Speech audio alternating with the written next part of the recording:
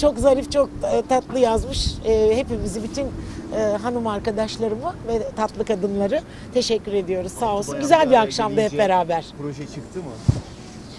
Yok öyle çok proje gibi konuşmadık. Öyle şeyler konuşmadık. Biraz daha özel, daha kendi hayatımızdan şeylerdi. Var mı yeni bir şeyler efendim onu da öğrenelim. Yeni bir şeyler Mart'ta filmim giriyor.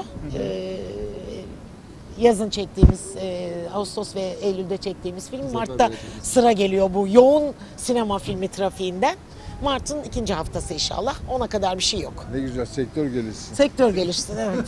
Çok teşekkür ederim. Teşekkür bu yılda çok ederiz, film iyi çıkıyor. Ee, nasıl görüyorsunuz filminizde? Çok rakip var aslında. Birçok film üretiliyor. E, Bu güzel bir şey ama. Gü- Güzel bir şey. Filmler birbirlerine rakip değil. Ne kadar güzel olurlarsa, seyirci e, seyrettiği filmden ne kadar memnun ayrılırsa bir sonrakine o kadar daha büyük bir hevesle gidiyor. Kötü olursa kötü tabii de e, güzel filmler, iyi filmler birbirlerini hep destekliyor. Bakmayın rakip film olduklarına.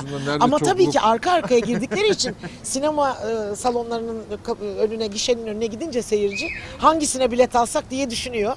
Ona yer bulamazsa öbürüne giriyor. Bu da güzel bir şey. Sektör efendim. gelişsin. Siz Sektör gelişsin. Son çıkan filmleri. E, ettim hepsini.